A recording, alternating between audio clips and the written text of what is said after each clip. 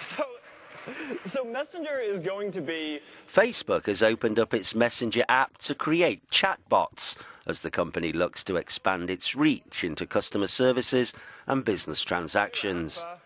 Chatbots are automated programs that help consumers communicate with business and carry out online purchases. Because now, to order from 1 800 Flowers. Chief Executive Mark Zuckerberg launched the chatbots with a number of partners, including Shopify and CNN.